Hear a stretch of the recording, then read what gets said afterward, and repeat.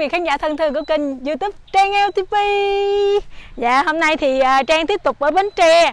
À, Sáng hôm qua thì Trang mới uh, xuống dòng trôm ở uh, tỉnh Bến Tre để uh, thăm anh Khôi. Rồi được anh Khôi dẫn đi vườn dừa nè Chèo xuồng vô trong vườn dừa, hái dừa, uống nước dừa, ăn cơm dừa.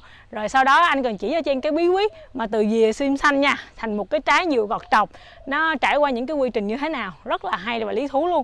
Mình thấy là hả uống nước dừa nó đã ngon rồi nhưng mà khi mà mình nhìn nó đẹp mắt á nó gọt trọc lại rất là gọn gàng đẹp mắt thì mình uống nó lại tiện lợi hơn. Đó nhưng mà để từ một trái dừa sim xanh thành trái dừa gọt trọc đó qua cũng rất là nhiều công đoạn. À, khi mà mình đi rồi mình mới hiểu và mình cảm thấy nâng niu và trân trọng cái trái dừa dạ. À, mặc dù á là mình uống á thì lẻ lắm có 5 phút là mình hết trái dừa rồi. Nhưng mà để à, hái dừa nè để trồng được cây dừa nè rồi để hái ra trái dừa đó rồi để vận chuyển lên Sài Gòn để cho mình uống thì đó rất là kỳ công. Dạ. Xong rồi tối hôm qua là Trang à, với bạn quay phim có ghé qua nhà sư phụ Khương Dừa nằm ở chợ lách Bến Tre để à, thăm hai bác cũng như là em gái của anh. Rồi xong rồi cùng ăn một bữa cơm rồi cùng xem đá banh trận Việt Nam à, đá với đại đội, đội tuyển Thái, Thái Lan nữa. Rất là vui. À, cả nhà trang với bạn quay phim rồi à, ba mẹ anh Khương cùng xe đá banh rồi bình luận. Dạ rất là vui là mặc dù là có đến à, 6 phút bù giờ lận nhưng mà đội tuyển Thái Lan cũng không thể à, chiến thắng được đội tuyển Việt Nam mình. Đội tuyển Việt Nam mình đã giành chiến thắng với tỷ số là 1-0 và đạt huy chương vàng. Quá hay. Xin chúc mừng đội tuyển bóng đá Việt Nam U23 Việt Nam hả dạ à, sau rồi cái sáng sớm hôm nay à, tạm biệt gia đình của sư phụ Khương Dừa. Trang với bạn quay phim tiếp tục cuộc hành trình của mình để à, di chuyển sang à, một tỉnh khác, một huyện khác. Đó là huyện à, Châu Thành và tỉnh Bến Tre để thăm nhà chị Dung. Và nhà chị Dung là chỗ mà làm nem chay của chú anh chị. Mà đợt trước á, lúc mà cái tháng đầu tiên cho bán khổ bò thì được sư phụ Khương Dừa gọi là mai mối kết duyên cho Trang với lại chị Dung giới thiệu cho Trang một cái đặc sản Bến Tre mà rất là ngon. Thật sự khi mà Trang ăn rồi Trang thấy không bao giờ quên được luôn á. Và cảm thấy rất là ấn tượng là tại sao mình lại làm ra được một món mà tuyệt vời như vậy. Dạ nên hôm nay là trang chủ đích là à, xuống đây để thăm chị dung và cảm ơn chị dung đã cho trang một cái sản phẩm vô cùng chất lượng. À, khi mà bước xuống nhà chị dung của chú anh chị đầu tiên á trang cảm thấy rất là thích tại vì đây á sân vườn. Dạ ở đây là có vườn nuôi cá nè hồi nãy trang thấy được nguyên một con cá tài tượng rất là bự luôn. Rồi à, bên này nè nha có à, à cây đu đủ nè đã chưa? Ý, là có bưởi nè đó có chuối lá chuối nè. Đây thật ra trong cái nem chay của mình nó cô chú anh chị là có à, đu đủ khế chuối uh, vỏ bưởi.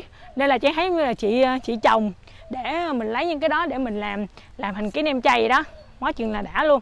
Cái vườn của chị cũng cũng rất là rộng nha xuống dưới kia là. Nên là chị thấy một lần đi xuống quê đi đến địa điểm nào cũng thấy rất là hay nè.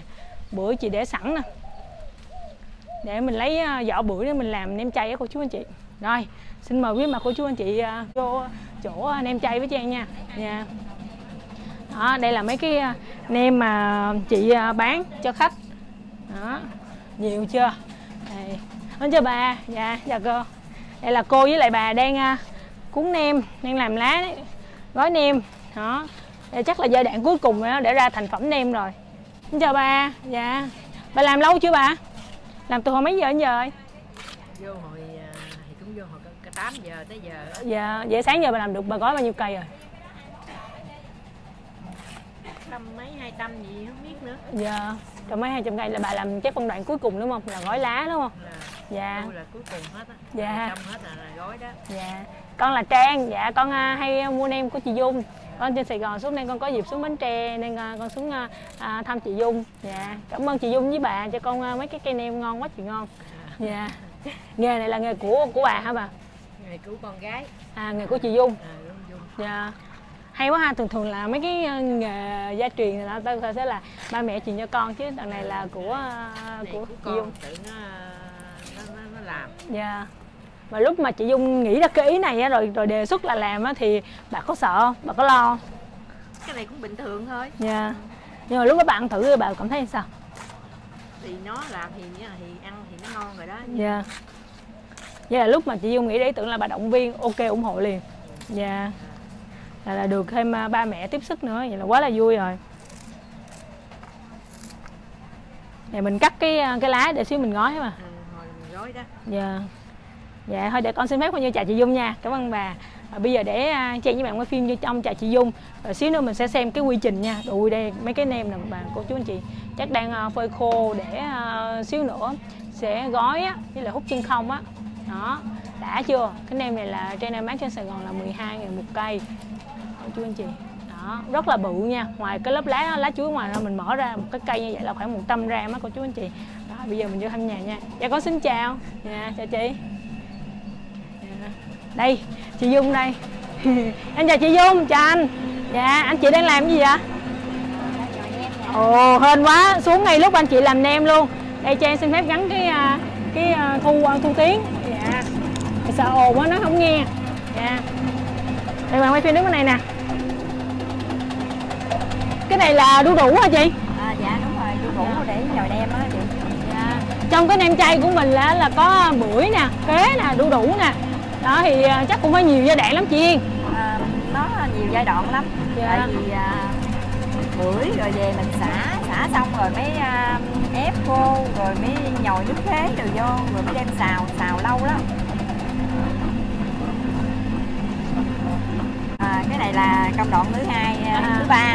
dạ tỷ như à, bưởi rồi mình đem à, xả xả rồi mình mới đem xào rồi mới à, xào xong rồi mới nhồi nè. À, thứ À. ba nè rồi ngồi mới ra đòn mới gói dạ.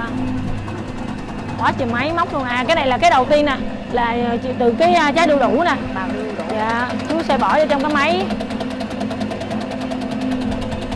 Rồi nó sẽ ra cái thành phẩm ở dưới. Đu đủ vào. Dạ.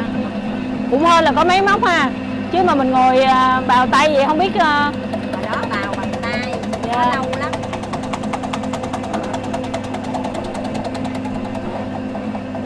giờ làm cái này thì được cái nó, nó nhanh mà giờ nó nhiều.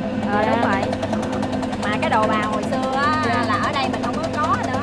Gửi cho nhỏ cháu nó ở ngoài nước ngoài nó mua. Ồ dạ còn ở đây á nó nó nhỏ lắm nó Dạ. có chút xíu mà. Dạ. Đó cái này cái bột này là sao mình làm ra hả chị? À, cái bột này á hả cái bột này là mình nhồi với uh, khế với đường mình đem xào xào lâu lắm cả 10 tiếng lận. Ghê vậy? À, 10 tiếng. rồi mới đem à, ra nhồi với đu đủ. Đu đủ mình ép khô á chứ Dạ. à, không phải là vậy à, mà nhồi đâu nha ép khô rồi mới đem ra nhồi. Mà chị để chị nhồi máy vậy sao chị biết là lúc nào cái bột nó ok rồi? À, cho nó đều nè rồi giờ mình mới để đồ vô. À để thêm để thêm gia vị vô. Đây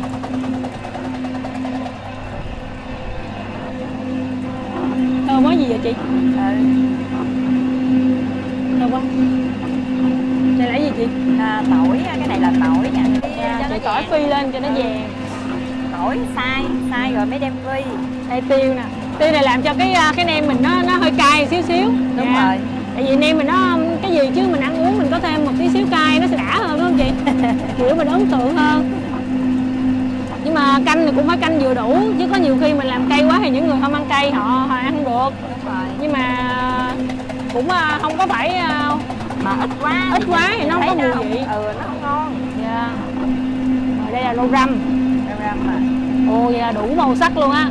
Vừa có màu đỏ nè của à, đu đủ nè của khế nè. Cái bưởi là nó nó nhồi trong này luôn hả chị? À, cái bưởi nó ra làm bột luôn rồi đó. À vậy xíu nữa cho em coi cái giai, đoạn bưởi đó nha. Đó có cái màu xanh của rau răm vô đẹp quá ha.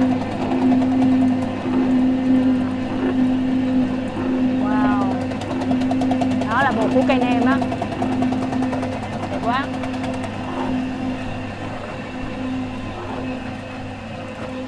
Ví dụ như nha chị một 100 cây nem á là phải tốn biết bao nhiêu trái đu đủ gì à, một trăm cây đem là khoảng 12 13 kg đu đủ à, tươi à. còn bao nhiêu bưởi chị một à, cái bưởi thì mình chưa có tính được tại vì á cái bột á thì mình tính được còn Dạ. cái bưởi mình xào á mình xào ra thành phẩm á thì khoảng là 5 kg Dạ. ở đây trung bình một ngày á chị ngày thường á nha trong năm á là chị làm bao nhiêu cây vậy à, trung bình á làm chừng hai trăm đòn tùy theo cách đặt. Cái tỷ Dạ. như ba bốn trăm năm sáu trăm gì vậy á. Dạ. À, cách đặt nhiêu thì mình làm nhiêu. Dạ. hồi tết á là cô chú anh chị mà lúc mà hồi ờ, sư phụ khuyên dừa á mai mối của trang với chị dung á là cô chú anh chị đặt nhiều lắm. Mà ăn xong cái ngon cái đặt tiếp đặt tiếp. Cái đến hồi tết á là đặt chị dung quá chừng luôn. Mà nói chị dung làm không nổi tại cô chú anh chị thấy ở đây là như gia đình chị dung là cùng chị dung làm vậy đó chứ không phải là thuê người ở ngoài à, do kiểu chị dung cũng làm kỹ muốn là cái cái nem của mình nó phải ngon thành ra là người nhà là không à. Cái à, là không nổi với lại trang cũng à, mới bán. Trang với chị dung chưa biết chưa gành nên hai chị em à, không có đặt trước với nhau. Nên lúc đó chị dung có nhiều khách đặt lắm thành ra là làm không nổi. Cái năm nay tết á, thì trang với chị dung sẽ để dành cho nhau. Dạ. để cô chú anh chị nào mà đặt á, thì thì mình có có nem để mình ăn tết. Tại vì có nhiều cô chú anh chị mùng 1 tết đó là ăn chay. Dạ. Ở đây chắc mấy ngày rằm là bán kinh khủng khiếp luôn hả chị đúng rồi ngày rằm. Ngày rằm là nhiều. Dạ. Với à, đặc biệt là tháng 7 á tháng 7 Dạ. nhiều lắm. Ừ. nửa tháng 7 á. Dạ. Ngày nhiều nhất của chị là bao nhiêu chị? Trong lịch sử bán nem chay. Hai ngàn mấy cũng có. Một ngày. Ừ. Ừ. nhưng mà để hôm nay trang quay cho cô chú anh chị thấy cái quy trình nó làm kỳ công đến thế nào nên là mình nghe nó hai ngàn mấy cây thôi chứ để làm ra hai ngàn mấy cây đó là rất là cực luôn đúng rồi Dạ. phải chuẩn bị đồ trước rồi à, mới à, làm Ừ. sáng là phải dậy sớm mới làm ra được hai ngàn mấy ừ. à bào thêm lần nữa nhồi thêm lần nữa ừ, cho nó đều đủ bột lại giờ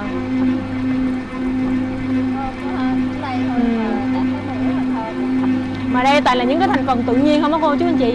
Đó là khế nè đu đủ nè và bưởi nè chứ ờ, rau răm nè chứ chị không có ờ, bỏ chất phụ gia hay là cái gì hết. Đỏ đỏ này là ở đâu ra chị?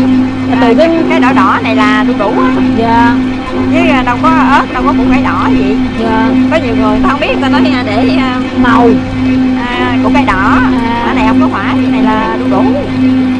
Mà cái này hồi xưa sao chị dung có cơ duyên mà chị dung ờ, muốn làm nem chay gì dung chung á là mấy chị em làm ăn á Dạ. rồi cái um, có người á ta nói cái này á làm bán được nè. Dạ. Rồi à, ba chị em mới làm. Dạ. Làm rồi à, rồi à, bán được rồi thôi đi làm luôn á tới giờ á. Dạ. Hai cũng lâu lâu rồi. Dạ. Lâu lâu lại như vậy?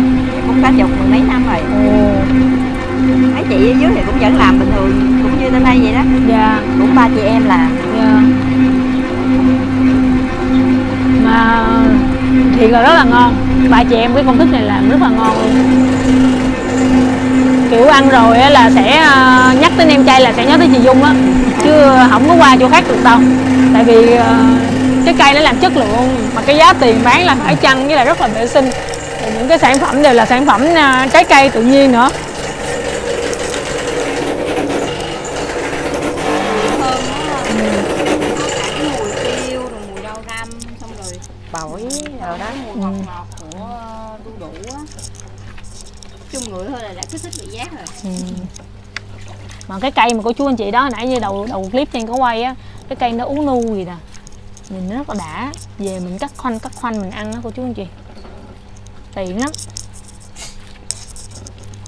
Này mình mua bún về mình làm bún chay ăn cũng được nè. Bỏ bánh mì mình ăn cũng được ăn không cũng ngon nữa. Nói chung ờ, dễ ăn ăn cuốn nữa. Mình mua thêm miếng ờ, bánh tráng miếng rau cuốn ăn. Rất là tiện luôn. Ừ. cái này ăn chơi cũng được hen. Dạ nhậu cũng được hen. Em bưng phụ cho. Chưa. Đó giờ chị sẽ đổ cái à, cái bột này ra.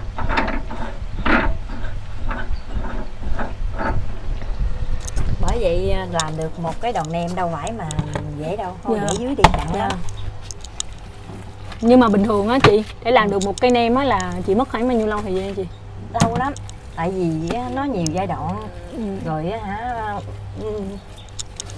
Bởi vậy trước khi làm á phải xào bột để á dạ. đặng có khi nào mà người ta điện á là có liền không là mới có liền. Dạ. Còn mà đợi bắt lên nữa là lâu lắm. Dạ. Đợi bắt lên cầu một mười mấy tiếng đồng hồ chưa có nem nữa.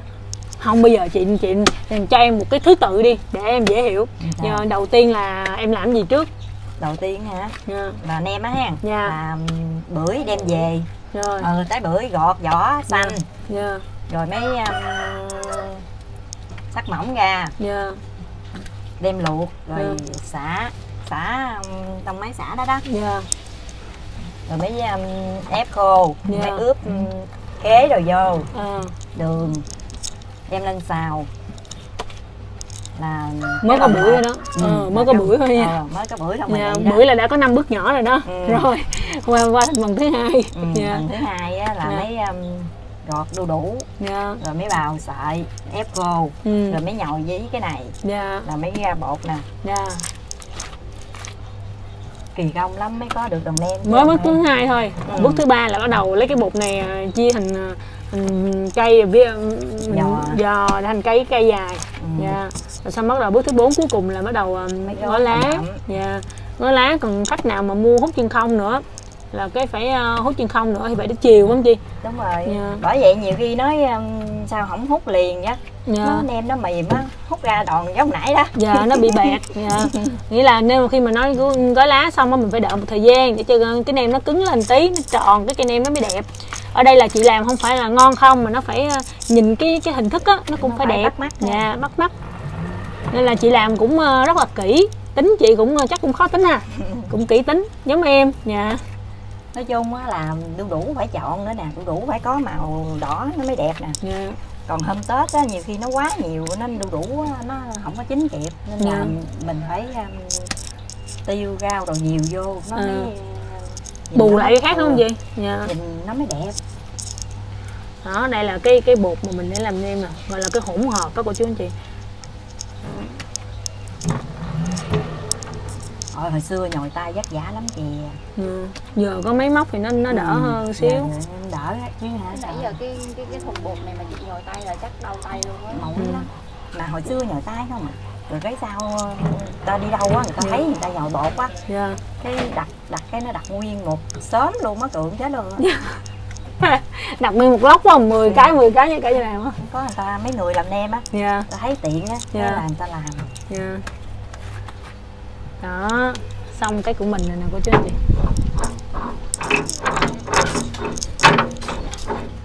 Rồi mình khóa cái à, cái nồi lại. Ok mà em? Trợ lý được rồi ha. Này đây là cái vỏ bưởi nè. Chị à, chị cắt ra chị để sẵn nè. Đó.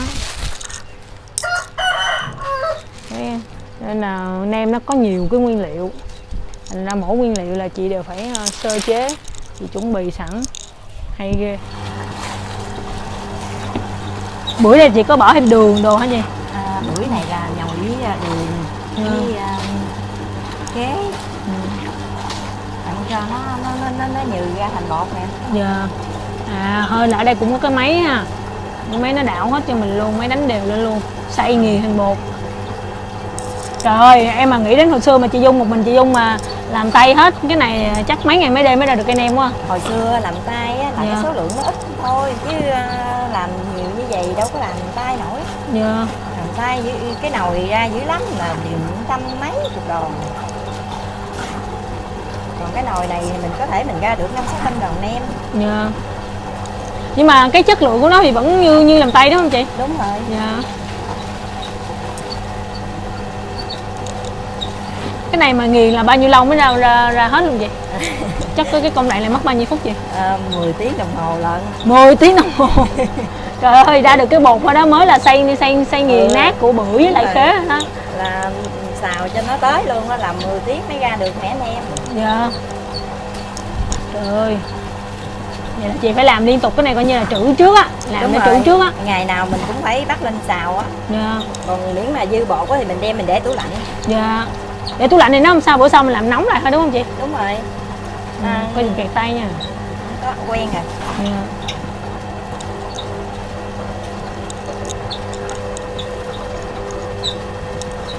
Mà ở đây là có ờ, chị Dung làm, rồi có anh chồng chị Dung làm, rồi ờ, ai phụ chị Dung nữa? Cái Có mẹ đúng không? mẹ rồi Dạ. à, mấy đứa em Dạ. nói chung là trong nhà không à Nhưng mà công thức này á là chị Dung với mấy chị nghĩ ra rồi làm rồi mẹ với mấy người trong nhà có góp ý thêm không? Có điều chỉnh thêm không? cái dạng cũng như mình ăn thì thấy nó nó chua hay gì á thì Dạ. mình, mình góp ý rồi mình thêm gia vị vô rồi Dạ. rồi cái à, từ đó mình cân cái liều lượng mình đó Dạ. chứ à, đâu có niêm mình chỉ cân thôi cho nó đúng liều lượng vậy đó Dạ. Cái mày mới là chỉ là nghiền nát để ờ, ra cái bột mà trong đó là bột khế với lại bột bưởi. Rồi. kế bưởi với à, đường Dạ. 10 tiếng nha cô chú anh chị. 10 tiếng để nó để nó ra nha. Dạ. còn cái bên này á, 10 tiếng nó mới ra thành như vậy nè. Dạ. Rồi mới hâm nóng lại là hâm nóng là khoảng một tiếng rưỡi mới à, mới ra được à, nem. Là 11 tiếng rưỡi. Trời ơi. Một cái nem hết 11 tiếng rưỡi. Mà cái này với cái kia cái này nó có màu màu hơn xíu nha. Cái này là mình để vô tí xíu bột ớt chứ ờ, nói chung không có để màu gì á. Có Dạ. tí xíu bột ớt thôi. Ớt khô á. Dạ. Chứ không có để màu ồ. Màu á trong cái cây nem á là nhờ ờ, đu đủ đu đủ chín. Dạ.